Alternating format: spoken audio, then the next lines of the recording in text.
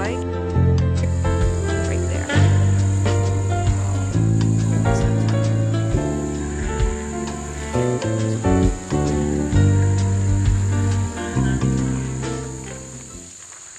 There's one above you. I don't know if, if you shake it, it might hit you in the head.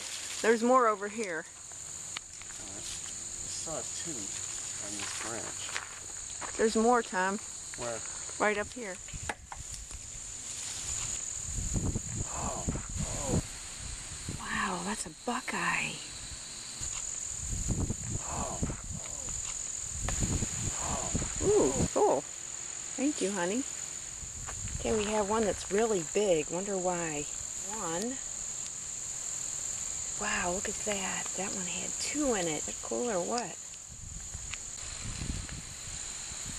Wow, look at that. I think this one's going to have two in it also. Thank you. I'm going to make some buckeye necklaces.